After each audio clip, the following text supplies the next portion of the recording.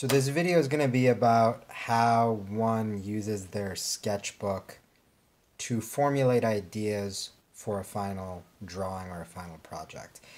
In this case, it's for a final hand portrait that would be done in traditional pencil or pen materials.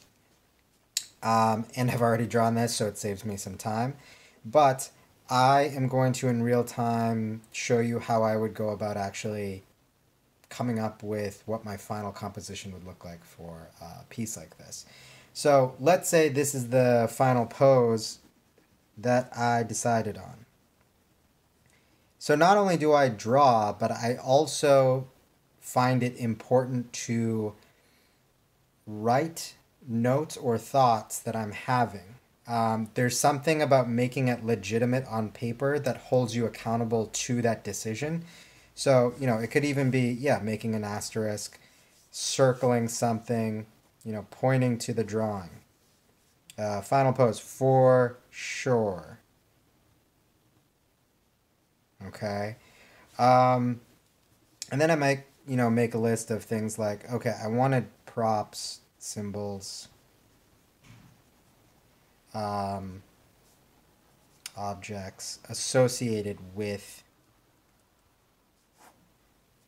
the hand. So, you know, I start listing like, okay, maybe I want um, uh, an arrowhead because I do archery.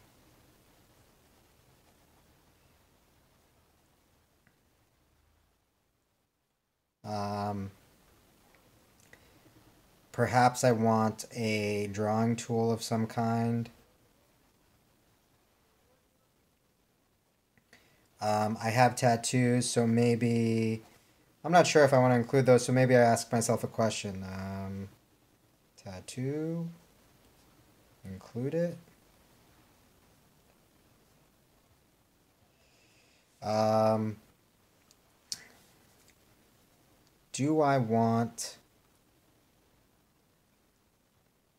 this style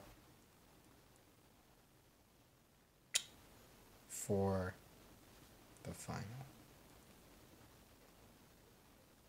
You know, asking yourself questions, physically writing them out also, there's a sense of finality to it, right? It's not just stirring in your head. Um, you actually have to see these notes that you're making, and it's going to hold you accountable, like I said, for when you actually need to start doing the final.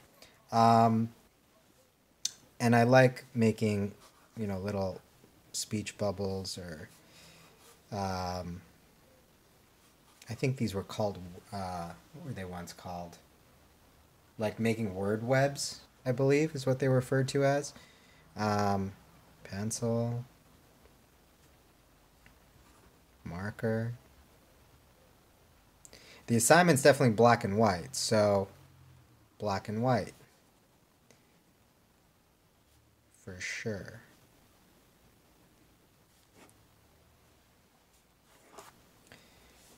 Um, and then, you know, going back to here,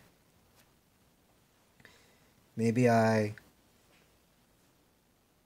have an arrowhead.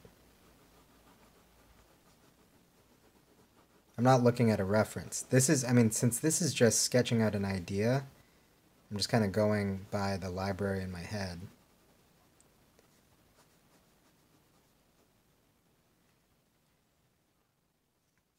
And maybe there's like a I know there's a pencil or a quill pen.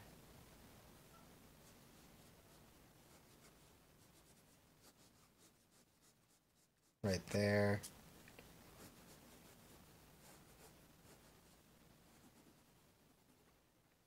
Right? So this is how I like to create a dialogue with myself, a visual dialogue for something that is going to end up being a final piece.